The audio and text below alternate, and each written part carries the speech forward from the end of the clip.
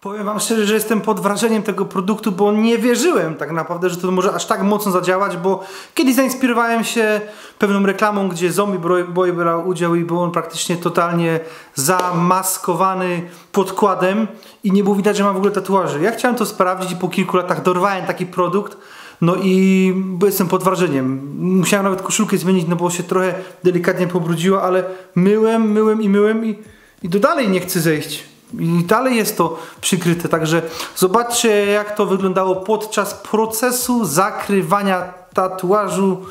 Taki...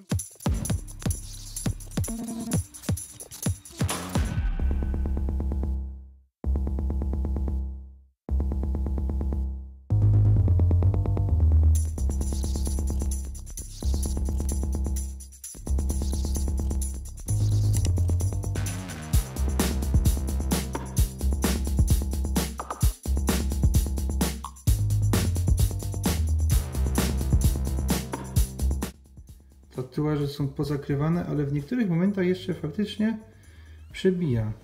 Ale jest efekt. Także jeżeli ktoś by potrzebował mieć zakryte tatuaże, nie wiem w jakim celu, ale spoko, to śmiało może tego użyć. Widać ewidentnie odcięcie tutaj.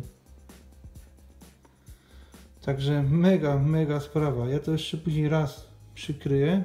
Tutaj przebija, ale myślę, że można to efektownie zrobić.